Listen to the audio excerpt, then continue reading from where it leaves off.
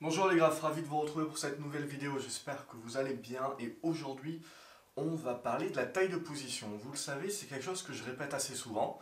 Bien entendu, cette taille de position, voilà, c'est facile à comprendre qu'en effet, le plus dur c'est en bourse, c'est pas de savoir quand acheter, ni même de savoir quand vendre, même si savoir vendre est plus important que savoir quand acheter mais c'est surtout la gestion. Toute la différence dans votre performance va se faire dans votre capacité à gérer la position. Et une bonne gestion de position, bah, ça passe par une capacité à suivre son plan avec discipline. On ne le répétera jamais assez. Mais pour éviter que les émotions viennent justement entraver votre plan, entraver la bonne marche justement de votre gestion de la position pendant sa vie, pendant la durée où vous la détenez, peu importe que vous soyez à court terme, moyen terme ou long terme, eh ben, ça va être la taille de position qui va faire une grande différence. Donc votre capacité à gérer le risque. Et gérer le risque, quelque part, oui, on peut le faire avec un stop, on peut le faire avec son plan donc, mais la taille de position fait partie intégrante et je dirais même c'est le pan le plus important, le pilier le plus important de votre gestion de risque. Donc c'est vraiment quelque chose de crucial. Maintenant, c'est pas facile dans le sens où la gestion de la taille de la position, c'est pas quelque chose, c'est quelque chose que l'on peut mathématiquement calculer en effet, et il y a plusieurs euh, formules pour cela. Et euh, justement, alors il y a certaines personnes qui vont prendre que 1% voire moins de risque de leur capital, et donc, et donc en fonction de ça, ils vont calculer la taille de la position. On pourra y revenir, mais surtout ce que je trouve euh, pour moi important, c'est d'avoir la bonne taille de position par rapport à la volatilité du titre que vous prenez, qu'est-ce que vous prenez. On va pas prendre la même taille de position sur une grosse cap comme sur une petite cap. On va pas prendre la même taille de position sur une, entreprise sur laquelle on veut faire du long terme que sur celle où on va faire du court terme, on veut juste spéculer sur un rebond. Et donc on va faire attention au volume, à la volatilité, voilà, il y a tout un tas de choses également auxquelles il faut faire attention pour bien tailler sa position déjà en fonction du risque et euh, du, euh, du sous-jacent et donc de l'actif que l'on achète. Mais ensuite, il faut faire attention parce que si vous taillez vos positions trop petites, eh ben c'est pas motivant. Et donc dès que vous allez avoir raison, vous allez gagner, vous allez tenir votre plan, ça va être génial. Mais en effet, peut-être que vous allez gagner 40, 50, 60%, mais bon, sur une petite position, ça va quand même pas euh, révolutionner le monde. Et si vous taillez votre position trop grosse, eh ben, il y a fort à parier que vous n'allez pas tenir le plan, que dès que vous allez gagner 2 ou 3% en valeur, ça va représenter quelque chose de substantiel, et donc vous avez coupé les ailes de votre trade tout simplement trop tôt. Et ça, quelque part, à chaque fois, si vous le faites, à chaque fois que vous avez raison, bah, vous allez faire finalement des petits gains, et vous pouvez avoir un pourcentage de réussite justement qui est supérieur à 50%, voire 60%, mais vous allez continuellement perdre en bourse, parce que quand vous avez raison, et c'est la plupart du temps vrai, vous gagnez peu, et quand vous avez tort, par contre, ben là, vous avez du mal à couper. En règle générale, les personnes qui euh, coupent trop vite leurs gains sont des personnes qui euh, laissent courir leurs pertes euh, d'une manière trop abondante, et donc laissent des petites pertes devenir des grosses pertes, et c'est ça qui crée le déséquilibre, et qui fait que même si en effet elles arrivent à avoir un bon pourcentage de réussite, et un bon taux de réussite, eh ben, elles continuent de perdre en bourse. Pourquoi? Parce que derrière, c'est sur leur capacité, leur incapacité plutôt, à gagner gros quand elles ont raison et à perdre petit quand elles ont tort. Et ça, quelque part, c'est la taille de position qui va vous permettre de gérer. Et donc, cette taille de position, il faut l'adapter à chaque profil. C'est là où il n'y a pas réellement une règle précise. Cette taille de position, c'est en fonction de vous. C'est vous qui devez le ressentir hein, dans, votre, dans, dans le bas de votre ventre. C'est vous, justement, qui devez savoir quand votre taille de position est trop petite, parce que tout simplement vous êtes complètement désintéressé, et vous ne suivez même plus, vous devenez complètement passif, ce qui est également négatif.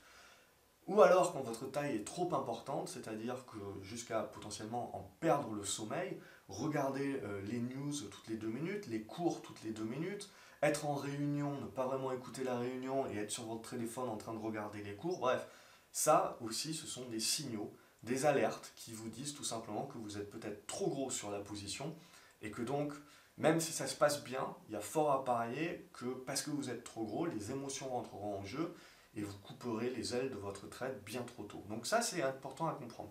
Et du coup, pour le schématiser, parce que je pense que voilà, une image vaut mieux que mille mots, j'ai trouvé justement un, graphique qui explique un petit peu selon, euh, voilà, on a une, comme une courbe de, de gosse. Donc ça, c'est assez intéressant. Donc je vous la mets à l'écran et on va la commenter ensemble. Alors je l'ai trouvé en anglais, mais euh, je, et, donc euh, ça résume parfaitement ça. Et ça, cette courbe finalement, c'est vous qui devez trouver le juste milieu. Et à toute chose, c'est pas bien de trader trop petit, c'est pas bien de trader trop gros. Et c'est à vous de trouver le juste milieu, de faire des essais et de voir quelles sont les sommes, justement, qui vous permettent de rester euh, zen, de rester tranquille et de suivre avec votre, plan avec la meilleure discipline possible. C'est ça qui est le plus important. Et de toute façon, vous, vous allez le ressentir en vous. Quand vous avez la bonne taille de position, c'est la bonne taille de position qui vous permet, voilà, quand vous avez raison, de quand même faire un gain euh, intéressant. Et euh, si vous avez tort, voilà, de pas non plus commencer à ne pas vouloir couper, à moyenner à la baisse. Ça, je veux dire, on a beau savoir toutes les erreurs qu'il ne faut pas faire. Si vous taillez votre position de manière trop grosse, et ça m'arrive également, si je taille ma position trop grosse, j'ai beau savoir tout ce que je sais, je rentrerai quand même émotionnellement dans des ancrages et dans, et dans des euh, erreurs euh, derrière que, que, que, que, que, qui facilement peuvent complètement exploser une performance hein, sur une année. Il suffit d'un mauvais trade. Il y a beaucoup de personnes qui vous diront toujours, moi j'ai toujours attendu et que les actions remontent. Oui, mais il suffira d'une fois. Et une fois l'action ne remontera pas, elle ira au tapis. La personne aura moyenné à la baisse et donc il suffira d'une seule erreur pour complètement exploser toutes les performances d'un compte sur plusieurs mois, plusieurs années même.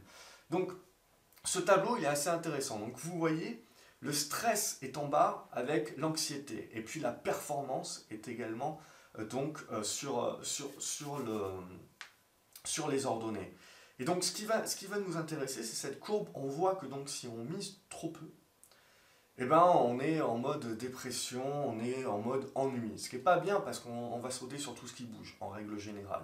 Et donc derrière, au fur et à mesure où on augmente cette position, on voit que notre attention et notre intérêt est augmenté jusqu'à ce qu'on arrive à la position idéale où là finalement on a la position idéale qui nous permet voilà, d'avoir du stress, mais qui n'est pas du stress négatif, qui n'est pas du stress qui va nous impacter euh, dans, notre, dans nos émotions et donc nous pousser potentiellement à changer notre plan ou à pas nous le tenir, mais qui est du stress positif dans le sens où voilà, on est quand même intéressé, on suit, on n'est pas en over-trading, on n'est pas justement en train de, de, de sur-sur-surveiller euh, ses actions, on est capable d'avoir une vie à côté, on suit tout simplement le plan. On a notre plan qui est mis en place et on suit. Et par contre, si vous commencez, vous voyez, à surdimensionner votre position, et eh ben là, le stress devient négatif, vous commencez à être anxieux, vous commencez à regarder votre téléphone tout le temps, et puis dès que vous allez gagner un petit peu, pour soulager un petit peu tout ça, ben vous allez vendre. Et en règle générale, l'erreur que la majorité font, c'est que pour se soulager, ils vendent en règle générale toute la position, alors que ça serait plus intéressant de vendre une partie de la position qui vous permet de revenir à la position idéale. Et ça, vous allez le ressentir en fait. Ce que je propose toujours quand une personne me dit là j'en peux plus, je sais plus quoi faire, j'ai une trop grosse taille de position, je suis complètement perdu, je, sais tout simplement plus quoi faire, malgré toutes les connaissances euh, que j'ai, je sais plus quoi faire, je dis bah, tu réduis un quart, un tiers de la position. Ça va soulager justement déjà ce stress, cette anxiété, et ça va permettre au cerveau, ça va permettre à votre subconscient aussi de reprendre du recul et de pouvoir reanalyser la situation, potentiellement réadapter votre plan ou euh, finalement dire ben ok là ça m'a permis de me soulager je suis revenu à une taille de position idéale qui me permet de voir venir qui me permet d'attendre et de voir venir et de tenir mon plan dorénavant. Donc c'est ça aussi qui est important c'est de savoir non seulement gérer sa position par la taille de la position mais savoir également la renforcer sans dépasser cette taille de position idéale qui ferait tout simplement que déstabiliser vos émotions et donc déstabiliser votre discipline à tenir le plan. Et toujours quand même euh, essayer, essayer à chaque fois d'alléger les positions quand vous commencez à être trop gros, tout simplement. Et ça, vous pouvez commencer à être trop gros également quand les gains commencent à être très importants. Et donc quand vous suivez votre plan, il y aura toujours un moment donné où vous allez vous retrouver avec des gains de 40, 50, 60%. Et ça, ça va faire une valeur et donc vous allez avoir peur de les reperdre, ces gains-là. Donc en règle générale, la plupart des gens vont couper les ailes trop tôt à leur trade. C'est ça qui est dangereux. Alors que non, ce qu'il faut toujours réfléchir, c'est essayer de alléger la position, pour alléger votre affect par rapport à la position, pour alléger et revenir à une position idéale. Et de toute façon, vous allez le ressentir quand c'est votre position idéale.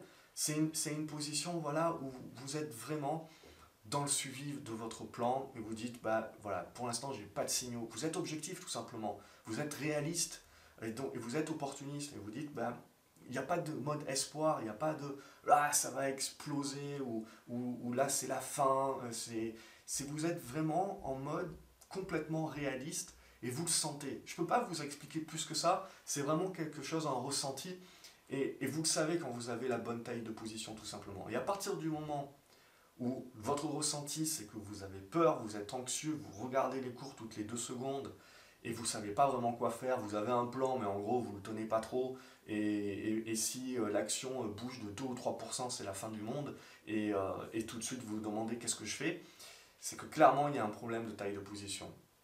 Et si vous vous foutez complètement de vos positions et que vous ne les suivez pas du tout, c'est que clairement là aussi il y a un problème de taille de position, c'est que potentiellement vous êtes trop petit sur vos tailles de position et que donc pour battre le marché également, il faut aussi apprendre à concentrer certaines tailles de position, certaines positions pour aller chercher la surperformance par rapport au marché. Sinon, bien évidemment, vous partez sur un tracker et c'est euh, largement, euh, largement suffisant.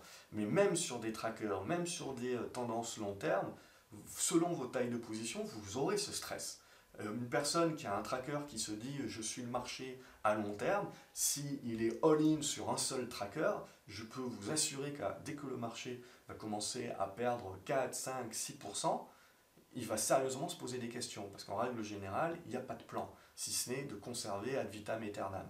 Mais ad vitam aeternam conservé, dès que le marché commence à se casser la figure, croyez-moi, les personnes qui n'ont pas le plan, même si elles sont long terme, elles rentrent typiquement dans cette gestion émotionnelle-là aussi. Donc, c'est ça vraiment qui est important la bonne taille de la position. Parce qu'avoir la bonne taille de position, ça vous évitera de rentrer dans des engrenages émotionnels déjà, et dans des engrenages d'essayer de deviner ce qui va se passer dans le futur, et d'anticiper tout simplement. Parce qu'à partir du moment où on a une taille de position qui est trop petite ou trop grosse, et qu'il n'y a pas d'intérêt ou trop d'intérêt justement, eh ben, on essaye de timer le marché, on essaye justement de... et on se transforme quelque part en trader de très court terme, et ça, c'est très néfaste pour la grande majorité des investisseurs. Voilà un petit peu donc ce, schéma à garder en tête. Et il faut, faites des tests. Vous allez bien le sentir à un moment donné. Vous le voyez bien euh, quand vous prenez une taille de position. Ah là, je me sens pas bien. Je, suis trop stressé. C'est que c'est pas la bonne taille. Réduisez. Et puis vous allez sentir, ah là, c'est trop petit. Je suis pas intéressé, je m'en fous, euh, je, je regarde même plus, etc. Donc c'est pas bon. Il faut que je reconcentre un petit peu. Donc, et, petit à petit, vous allez vous rendre compte également de quelle est la taille de position euh, qui est euh, véritablement la, plus intéressante pour vous.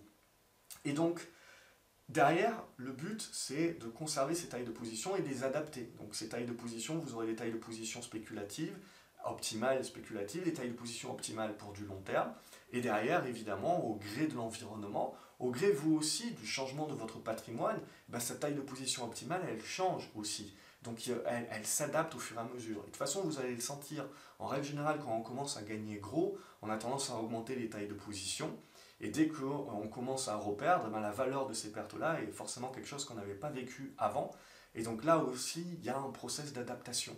Donc ça, prenez-le euh, vraiment euh, en compte. Pour moi, la taille de position, c'est clairement le nerf de la guerre. et c'est vraiment quelque chose à ne pas prendre par-dessus la jambe est vraiment quelque chose sur lequel se concentrer et vraiment se poser les bonnes questions, reprendre votre journal de trading et vous dire à quel moment et avec quelle taille de position je me suis senti le plus serein possible et j'ai été capable de, suivre la tendance tout simplement et de maximiser mes profits. Voilà. Et ça, c'est quelque chose que vous devez répéter. Et derrière, vous regardez à quel moment justement vous avez été stressé et vous avez fait des bêtises à anticiper, à prévoir l'avenir parce que très certainement vous étiez trop gros ou trop petit. Et ça, vous devez l'éviter. Voilà, c'est votre exercice et euh, n'hésitez pas dans les commentaires, on en discute et justement euh, euh, pour voir ensemble cette, cette réflexion, c'est un travail et comme je vous l'ai dit, c'est en permanence, on s'adapte, etc. à l'environnement, au marché, à la volatilité et à notre taille de portefeuille, à notre capital et à ce qu'il représente par rapport à notre patrimoine. C'est ça aussi qui fait clairement la différence par rapport à la gestion de nos positions, à la gestion de nos émotions, la gestion de nos plans et donc, in fine, à la taille de position idéale. Voilà, j'espère que vous avez aimé cette vidéo. Je vous retrouve dans les commentaires et je vous souhaite une bonne journée et je vous dis à la prochaine. Salut les graphes